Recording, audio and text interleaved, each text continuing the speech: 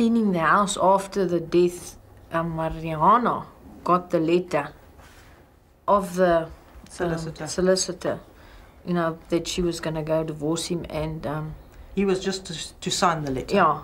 Oh. And um, Tini said to just get rid of that and don't tell anybody. I know she still told me about it.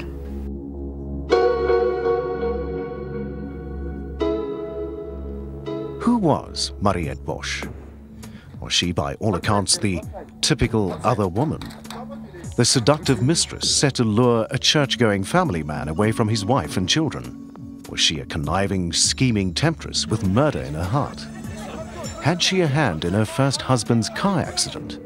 Or was Mariette a simple woman, bereft after her husband's death, finding comfort in her best friend's house? being made aware of their marital problems and hoping for love, falls prey to her best friend's husband's attentions, succumbing to his manipulative charm. Mariette's family refused to speak, but people who were involved with her during her ordeal have come forward to share their impressions. Chris, you were the family lawyer for Justin and Mariette Bosch, and you, you got to know them in your professional capacity over the years. What kind of woman was Mariette? Mariette was a very loving person. She was uh, a soft person. I think she was quite a sociable person and uh, therefore quite likable.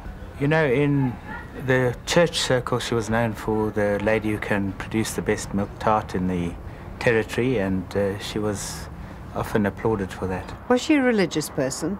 She was certainly a religious person and uh, integral part of her particular church circle. Mariette and Ria allegedly were best friends. To my knowledge, they visited each other at each other's homes. They went on holiday together. Um, I do know they were close because I knew both Mariette and Ria in separate capacities. When the news broke of the crime, there was a great deal of shock and disbelief that Mariette could be involved in such a heinous deed. Yes, it's certainly very hard. It stretches anybody's imagination when you know Mariette and think of the heinous crime that was committed. And putting the two together is a very difficult act for anybody who knew her. What kind of man was Justin Bosch? Justin was a client of mine. I knew him well. He was um, a big man, but not only physically, he was a fairly positive, forceful sort of person. And he had a, a positive attitude to life, life and quite a domineering personality, I would say. It would seem to me that Mariette experienced the two men in her life very differently. What would you say the main difference was? Again, just different personality styles. Uh, Tini, again, was a different character. I, I have known Tini quite well for a number of years. Again, he's an intelligent man. Uh, he's, he's soft in his approach. He, he was very charming. And he was intelligent and he was capable. And Mariette experienced him as a sort of almost as her Prince Charming in her life. Yes, you and I would see him as a man who always saw a lot of different options and might have had trouble confining himself to anyone. Um, but he was certainly a, a, a broad thinker. Do you know how he felt about Mariette? Yes, I have personal um, interaction with Tini, and he always declared undying love for Mariette. And Ria? How was the marriage? That marriage was troubled. There's no doubt about that. Without doubt, human drama is about to unfold.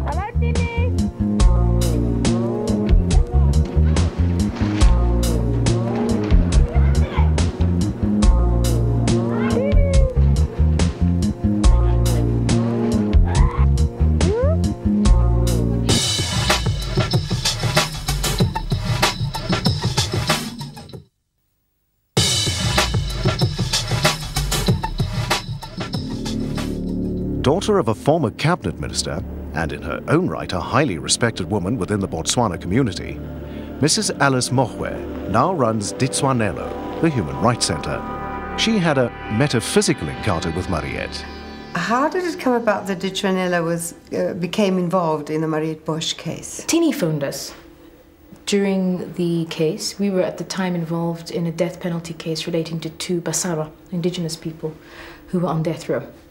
And he contacted us to find us whether we could be of assistance in terms of uh, finding funding for him because um, their costs were fairly high, and we were unable to help by providing funding, but we tried to assist by explaining how proposals could be prepared um, to present to donors, then get funding for, for the work he'd like to do. And then you went to see Mariette at some point. Well, I went to see her a week before she was executed. Of course, at the time, I had no idea she only had a week to go.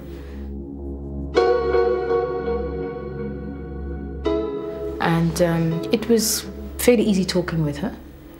She as herself, of course, didn't know she only had a week to go. And I, I then explained that um, I was from Ditshwanelo and had been keen to meet her. And I spent, I must have spent about an hour or so with her. Um, and I also told her about this dream which I'd had. I had dreamt that we'd been given permission to go and witness the execution. And of course, one has to locate the dream within a context where I'd desperately been trying to get hold of her during the previous weeks and, and not been able to get access to her. And I rushed over to the prison. I mean, in Botswana, as you know, we execute by hanging, not by lethal injection. But when I arrived um, in this prison cell, I found Mariette lying on a bed, on her back, surrounded by other observers. And um, there was somebody in a nurse's uniform standing nearby. And I stood behind her because I walked in and she couldn't see me, therefore, because she was facing the other way. And I said, Mariette, it's Alice, I'm here. Very familiar in this dream, which struck, you know how you're sort of disembodied in a dream and you're sort of observing and participating at the same time. And um, she started to cry and she just had huge tears falling out of her eyes. And I held her hands as they gave her the subsequent injections.